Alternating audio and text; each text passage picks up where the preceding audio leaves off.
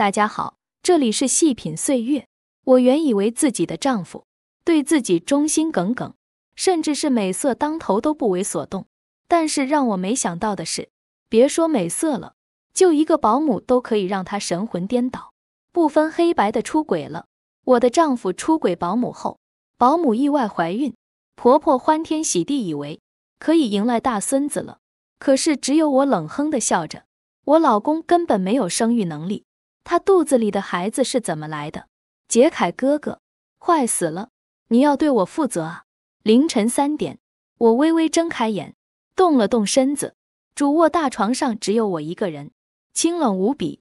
而隔壁的房间却传出一阵阵令人脸红心跳的声音。我的老公傅杰凯正和他乡下来的同学颠龙倒凤，不知天地为何物。三个月前。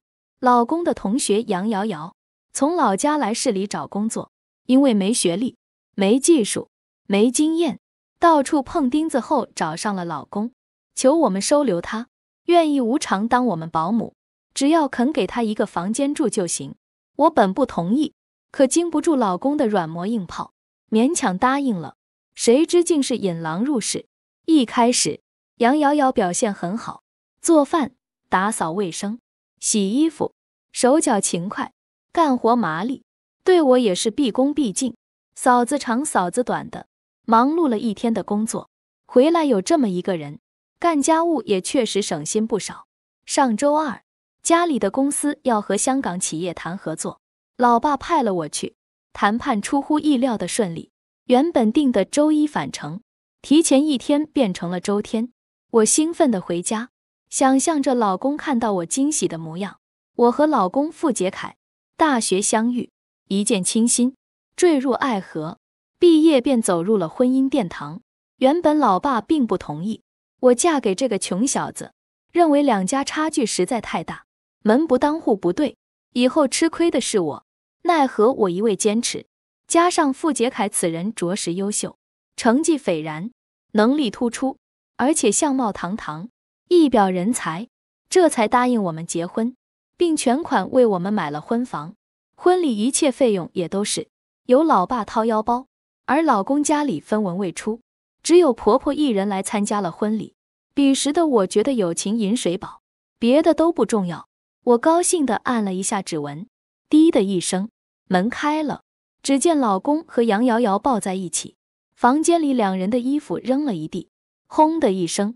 我的头炸了，愣在原地。看见我进来，两人也俱是一愣。首先反应过来的是杨瑶瑶，立刻从我老公身上起来，扑通一下跪在我面前：“嫂子，都是我的错，不怪杰凯，是我勾引他的。他只是喝醉了，把我当成了你，把你当成我不看看你自己的样子，你也配？”傅杰凯给我一个解释，转身进入主卧。老公急忙跟着过来，老婆，我只是喝多了，原谅我好吗？你的酒量一向很好，再说真的喝醉是不举的，你当我傻吗？此刻看到老公，我心里就泛起了恶心。老婆，我错了，就当我鬼迷心窍，猪油蒙心。我发誓再也不会了，让他马上滚，在我眼前消失，再也不许进这个家门。我气愤地说道。不要嫂子，嫂子，你行行好，让我留下来吧。卧室门突然被打开，杨瑶瑶急忙跑进来。我自小父母双亡，跟着老家亲哥嫂生活，家里嫂子容不下我，冤枉我偷钱，硬是将我打了出来。我现在已经无家可归了，嫂子若是不留我，我只有一死了之。杨瑶瑶说着就要向旁边的墙撞去，被我老公一把抓住，老婆。瑶瑶真的是走投无路，才来找我们的。真要撵他走，他怕是会走上绝路。老婆，你最善良了，再给他一次机会，让他留下来好吗？再说他在这里，我们俩都不用做家务，生活会更舒适。老公哀求的说着，看着杨瑶瑶跪在地上，哭得声泪俱下。我也怕他真会寻短见，到时候闹得不好收场。一时心软，丢下一句。好自为之，下不为例，就走开了。接下来的几天，我总是感觉困困的，没有精神，每天晚上不到九点就会睡着，第二天早上还是感觉睡不醒。老公说我可能是前段时间出差累的，多休息几天就会好，让我不要胡思乱想。又是晚上，老婆把牛奶喝了，瑶瑶刚给你温好的，好的，放那儿吧。突然，我脑子里灵光一现，不会是这每天必喝的牛奶有问题吧？趁老公不注意，我偷偷去主卧卫生间将牛奶倒掉，并告诉老公牛奶已经喝了，现在想睡觉了。好，老婆，你安心睡吧，我帮你关门。老公关上门就走了。我看了一眼手机，九点了。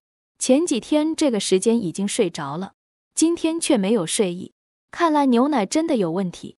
这对狗男女竟然给我下安眠药。我躺在床上。怕老公突然进来，假装睡觉，却十分留意外面的动静。九点半，隔壁卧室开始有声音：“杰凯，他睡了吧？”“嗯。”“杰凯，你这个媳妇竟然还想着不生孩子，做丁克，这样你们老傅家岂不是要绝后？真不知阿姨当初是怎么答应你们结婚的。”阿姨说：“本来我才应该是你们家儿媳妇，也只有我才知道你要什么。”还说让我给你生个娃，好让伯父在地底下安心。杨瑶瑶心有不甘，又莫名自豪地说道：“这是什么鬼对话？”我继续听了一会儿，才明白，原来杨瑶瑶根本就不是老公的同学，而是早些年家里给她定的娃娃亲。结婚五年，我一直没怀孕，此番前来是婆婆授意的，让杨瑶瑶找老公怀个孩子。回去好让老傅家后继有人，震碎三观。隔壁动静越来越大，两人不知羞耻的继续着，我却再没有睡意，真想立马冲过去撕烂这对狗男女，竟然利用我的心软善良，把他耍得团团转，岂有此理！但理智告诉我，不可以，不能打草惊蛇，没有全盘的谋划，不要轻举妄动。凌晨四点多，卧室的门被打开。是老公进来，他和杨瑶瑶折腾到半夜，又回到了我们床上，大手从背后抱住我，我的内心恶心至极。肮脏的男人，和别人运动完又回来假装陪我睡了一晚，想到他的手触碰过别的恶女人，他的怀抱抱过别的女人，他的嘴也亲吻过其他女人，我就克制不住犯呕。第二天，老公照常去上班，杨瑶瑶出门买菜。趁着家里没人，我在各个房间里都安上了针孔摄像头，才驱车去了公司。晚上，杨瑶瑶又照常给我准备了牛奶，这次我没有倒掉，而是放入事先准备好的塑封袋里，密封好冷藏起来，然后假装睡着。同样的时间，我从手机监控里看到这对狗男女又开始运动起来，我索性关了监控，洗洗眼睛，准备睡觉。接连几天都是差不多的套路，男盗女娼这两人真是精力旺盛？我把每一天的牛奶都密封冷藏好，交给了我的闺蜜乔悠悠，让她帮我化验。很快，悠悠就给了我答案：地西泮就是我们俗称的安定，而且剂量越来越大。我让悠悠记录好所有的化验结果，并保留好样本，以备后用。而在老公面前，一直假装不知道。他和杨瑶瑶的计划与苟且。几天后，我刚想出门，却和突然从老家来的婆婆撞了个满怀。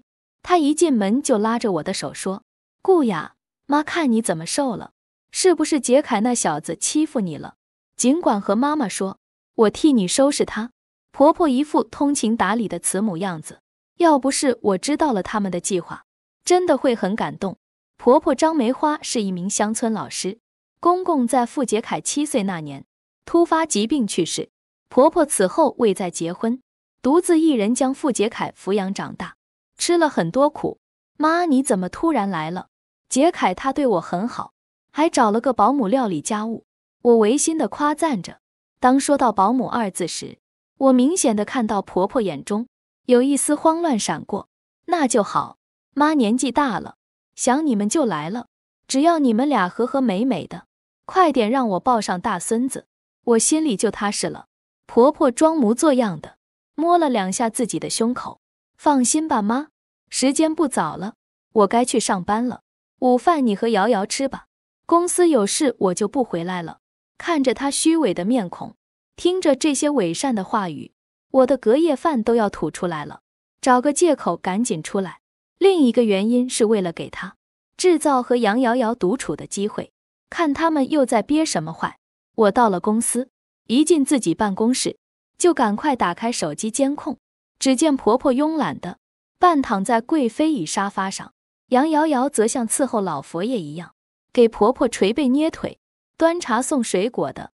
杨瑶瑶谄媚的样子，活脱脱像是老佛爷身边的小奴才。我调大手机音量，听听他们在说什么。伯母，人家好委屈呀！本来我才是您的儿媳妇，我和杰凯哥哥上高中就有了夫妻之实。什么？我竟然不是老公第一个女人？他上高中就和女友在一起了，大学时竟然说我是他的初恋。傅杰凯，你到底还有多少是我不知道的？瑶瑶，伯母也一直拿你当儿媳妇看待。谁能料到杰凯大学时候遇到这个女人，他还非扒着杰凯不放手。要不是看顾雅家条件不错，能给杰凯帮助，我是绝对不会同意他们结婚的。婆婆提到我的时候，一脸嫌弃的样子，隔着屏幕都能溢出来。伯母那个不会下蛋的鸡，好几年也没杰凯哥生下一儿半女的，所以伯母只能指望你快点和杰凯要个孩子。让那个女人滚出这个家！她仗着娘家有能力，总是压杰凯一头，想要孩子痴人说梦。这两人大概都不知道，傅杰凯有无精症，就连老公自己也不知道。婚检时我就知道了，医生说治不好，怀孕的可能性几乎为零，让我慎重考虑。那时候的我深爱着老公，怕他知道了伤心，干脆直接把报告单藏了起来。并告诉老公，我们两人都很健康。报告单被我不小心弄丢了。这些年我一直没有怀孕，不管是谁问起，我都一直打着哈哈，不想要，太忙了，没做好准备等等各种理由替老公遮掩着。老公也从未怀疑过是他自己的问题。没想到这两个恶毒的女人，竟因为这个要将我撵出去。就凭他也想鸠占鹊巢，做梦！既然你们那么想要孩子，好，我就给你孩子，如你们所愿。我拿起手机给乔悠悠打电话，把我的要求给他说了一遍。好的呀，这事包在我身上。这段时间，悠悠一直在帮我调查杨瑶瑶的所有。很快，乔悠悠就找到了杨瑶瑶的前男友牛楠。听牛楠说，当年我跟老公结婚后，他和杨瑶瑶就谈起了恋爱。后来是杨瑶瑶嫌弃他穷，便和他提出了分手。悠悠和牛楠说明了任务，并把他包装成一个突然暴富的有钱人，还给他租了一辆名贵跑车和一座豪华别墅，让他去追杨瑶瑶，承诺事成之后给他五十万元作为报酬。牛楠当然乐意效劳，能免费体验有钱人的生活，还能报复穷的前女友，最后还有一笔丰厚的报酬。想想就觉得开心。接下来的一段时间，我借口出差都没有回家，一来不想看他们演戏，二来他们所有的动向我都能掌握。在杨瑶瑶买菜的必经之路上，牛楠将她拦住，展开疯狂追求，说他一直深爱着杨瑶瑶，没有杨瑶瑶的日子，即使现在再有钱，也觉得了无生趣。各种花言巧语，糖衣炮弹，轮番上阵。杨瑶瑶是个胸大无脑的女人，又有着蜜汁自信，她并没有过多考量事情的真实与否，就沦陷在牛楠的温柔乡里了。很快，杨瑶瑶开始借口买菜出门，被牛楠用跑车载着去别墅偷欢，且每一次运动都被牛楠录了下来。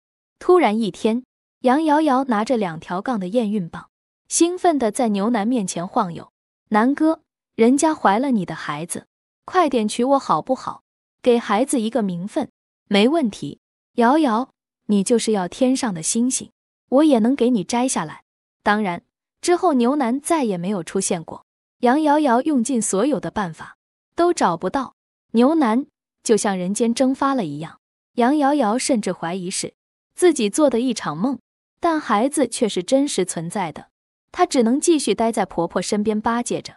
有一天，我从监控中看到婆婆无意间发现了杨瑶瑶的验孕棒。瑶瑶，你怀孕了，怎么没给我说呢？这真是天大的好消息！哈哈哈。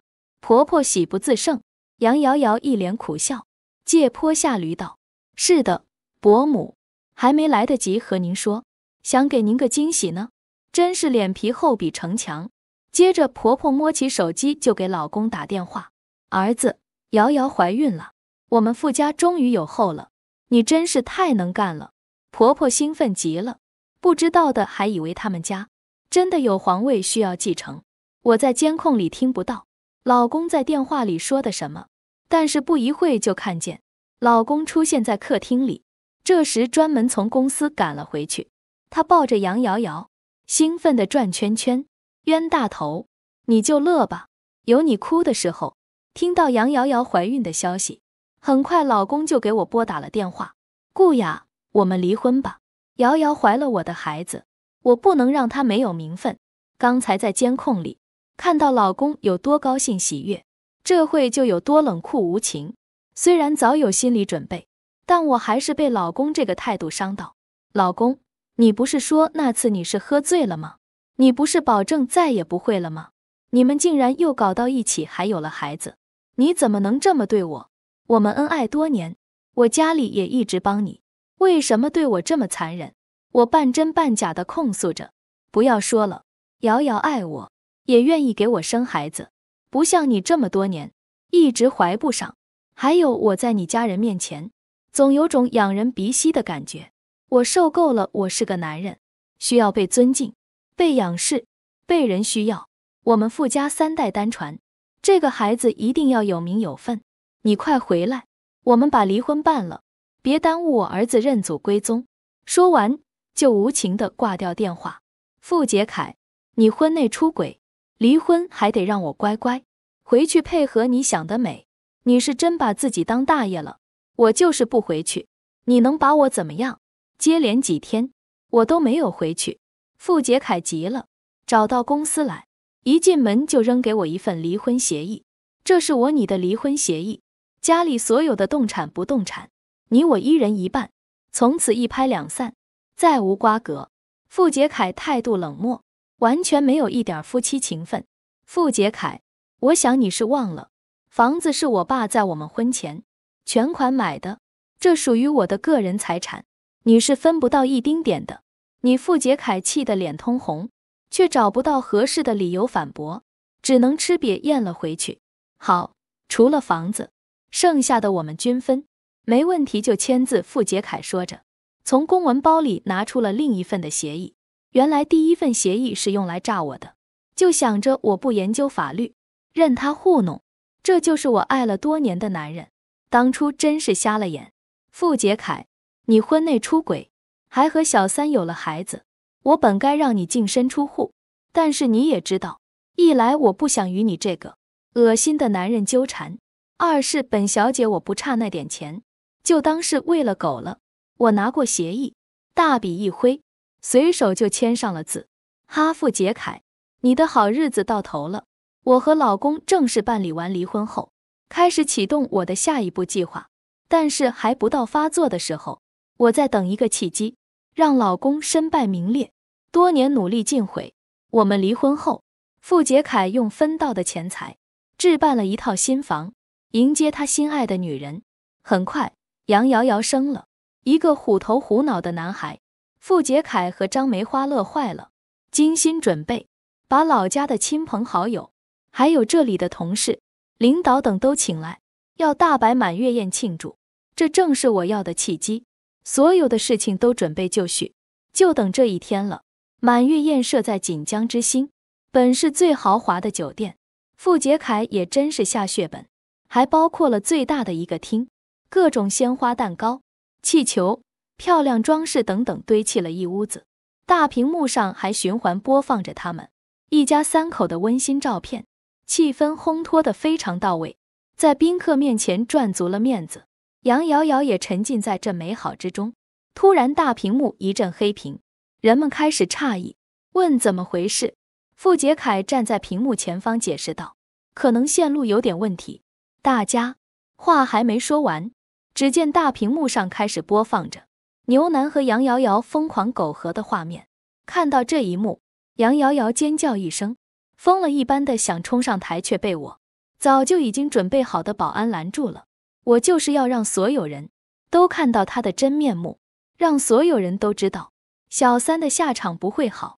全场宾客一片哗然，傅杰凯一看脸都紫了，刚想解释什么。画面又被切换了，是杨瑶瑶说怀了牛楠的孩子，让牛楠娶她的一段视频。看到这个，傅杰凯惊得下巴都要掉了。他这才明白自己被戴了绿帽子，而孩子根本不是自己的，他就是个冤大头，替别人养儿子。还没从这个震惊和羞耻中反应过来，大屏幕上又变了，是关于牛奶被添加安定的检验报告。受害者是傅杰凯前妻，而施害者是谁？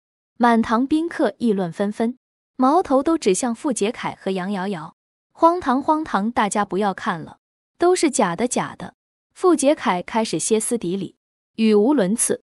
还没喊叫完，屏幕上的信息又换了。这次是一组数据，显示傅杰凯在公司挪用公款、职务侵占、泄露公司机密等。各种行为的调查结果，大厅里的宾客讨论声都快沸腾了。这一群来吃席的，变成一群来吃瓜的。这还不算完，突然大厅的门被打开了，进来几名警察同志。傅杰凯、杨瑶瑶，我们接到举报，你们二人涉嫌参与多项违法违纪活动，请你们二位配合我们调查。此时的杨瑶瑶早已吓得不成人样。就这样，他们两人被带走了，只剩下满屋子的吃瓜群众，以及溃败的像疯子似的钱婆婆张梅花。我总算舒了一口气，尘埃落定，终于让恶人受到该有的惩罚。那对狗男女最终的下场，我已不想太在意，相信法律会有最公正的裁决。雨过天涯，我终于可以安下心来，过自己的生活。这天，我刚要下班。办公室里却来了一位不速之客，就是我的前婆婆张梅花。顾雅，都是你在幕后操纵的，对不对？张梅花一进门就指着我的鼻子开吼：“张女士指的什么？”我身体后仰，舒服的倚在豪华的办公椅上，云淡风轻的问出口：“我儿子如今已经身败名裂，一无所有了，这一切都是你在背后搞鬼，是不是？满月宴上。”那些视频都是你放的，张梅花看越说越气，手指不停的哆嗦。要不是我，你们还在替牛腩养儿子呢，哈哈，真可笑！被人卖了还帮人数钱，你们娘俩不应该感谢我吗？我摆出一副做了好事却不得理解的苦恼表情。对了，忘了告诉你，你的宝贝儿子傅杰凯有无精症，是根本不可能让人受孕的。我又补一刀。你胡说！我儿子这么健康，怎么会有无精症？你这个不会下蛋的鸡，自己怀不上还怨男人！你这个毒妇！张梅花已经快要抓狂了。我不紧不慢地从抽屉里拿出婚检报告，摆在钱婆婆面前。张梅花毫无素质的一把将报告夺过去。怎么会这样？杰凯一直很健康，怎么会是无精症？张梅花一脸不相信的样子。你什么时候知道的？张梅花整理了下震惊与愤怒的情绪，稍微冷静下来，问道：“这是婚检报告，领证前就知道了。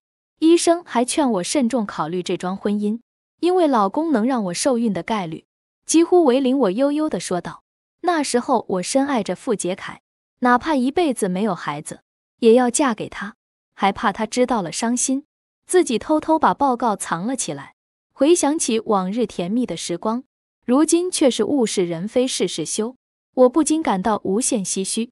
这些年，我为了维护他的尊严，不管是谁提起孩子的事，都被我打岔过去。只是没想到我自己的一片真心喂了狗，被你们三人如此算计。我自嘲的笑道：“雅雅，是杰凯对不起你，我代他向你道歉。你人脉最广了，帮帮他好吗？”也只有你能救她。钱婆婆没了刚才的气势，哀求的说道：“都说一日夫妻百日恩，你行行好，再帮这个男人一次，不然他真的要坐牢的呀。”张梅花说着，突然扑通一声跪在地上。我的内心有一瞬间的动摇，毕竟是我爱了这么多年的男人。可是转念一想，也正是这个我掏心掏肺对待的男人，对我满口谎言，下安眠药，在我家买的婚房里堂而皇之的出轨，还计划着将我赶出去，让小三上位。伤害就是伤害了，如果道歉有用。那要警察干嘛？你起来吧，傅杰凯，我是绝不会救的。我坚定的说完，转身就离开。张梅花猛地起身，对着我离去的背影大声喊道：“顾雅，你这个冷血毒妇，见死不救，我会让你后悔的！不光不救他，我还得给他点点猛料过去。”铁窗之下，傅杰凯像一头困兽，失魂落魄，面目狰狞，再没有往日的风采。你是来看我笑话的？傅杰凯一开口，声音里满是疲惫，仿佛一下子苍老了许多。也对，任谁一股脑遭受这么多打击，也会承受不住。我只是默默地看着他，并未回答他。你怎么知道那个贱女人和牛男有染的？傅杰凯调整了一下不舒服的椅子，问道：“因为牛男是我安排的。你，你这个疯女人！”傅杰凯气得双拳紧握。而我只是平静地看着他，未被他愤怒的情绪影响到。那你怎么确定孩子是牛男的，不是我的？傅杰凯情绪淡定了一会，继续问道：“因为你有无精症，根本不能让女人怀孕，信口雌黄，无稽之谈。”傅杰凯刚刚平静下来，又被我短短几个字激得额头青筋暴起。我内心毫无波澜地拿出婚检报告，傅杰凯惊呆了。那时你就知道。为什么还会选择跟我结婚？因为那时我爱你，心甘情愿。我平静的吐出这几个字。傅杰凯突然有些心松，身体猛地往后倚在座位靠背上，抬头看着天花板，双手捂住脸。良久，我看见有泪痕从他眼角滑出。我起身离开，快要走到门口时，听见了一句微弱的对不起从墙角传来。我徒步回家。想要感受一下这温暖的春风，看看争奇斗艳的花朵，听听鸟儿叽叽喳喳的叫声。我已经太久没有感受大自然了，压抑了那么久的心急需这些美好事物的抚慰。快要到我家小区，突然从转角窜出一个人来，把我吓了一大跳。我还没反应过来，就被这人用一把尖锐的短刀划伤了胳膊，接着鲜血汩汩流出。我忍着疼痛。立即抓住他的手制止他，才发现这人竟是傅杰凯的妈妈张梅花。顾雅，你这个毒妇，把我儿子害得这么惨，我要和你同归于尽。你儿子是自作自受，咎由自取，关我什么事？就是你害了我儿子，他是我们傅家的独苗，现在前途尽毁，他是我唯一的希望。哈哈，完了！张梅花开始语无伦次。几近疯癫，但手上的力气却非常大。我拼尽全力反抗他，却见他就要将短刀刺向我胸口。我的手越来越支撑不住了，短刀已经抵在我的衣服上，眼看着就要刺入胸口，我的冷汗直流。在这千钧一发之际，忽然从拐弯处过来一支健步走队伍，声势浩大，男男女女好多人。他们见状立即跑过来。夺走张梅花的短刀，将我们俩拉开，并帮忙拨打了幺幺零和幺二零。感谢健步走成员，真是一群可爱的人。要不是他们，我说不定真就没命了。以后我也要加入他们。接着，警车和救护车相继赶到，我被救护车拉走，张梅花被警车拉走，一南一北朝着两个方向奔去。傅杰凯、杨瑶瑶、张梅花这三个名字。从此，在我的生活里彻底消失。那些让我难受的无数个夜晚，也终将会一去不复返。我会把那些人、那些事都忘记，就当是美好生命里的小插曲。乌云遮不住太阳，再重的阴霾也终究会散去。人总要往前走，学着和命运和解，重新拥抱这美好的世界。为了我爱的和爱我的家人，开开心心过好这一生。其实我从来没有觉得这是一件多么悲惨的事情，我反而觉得，因为这个女人的事情，让我看清了这个家庭，无论是对于现在的我，还是以后的我来说，都是一件很好的事情。以后的路只为孩子和自己。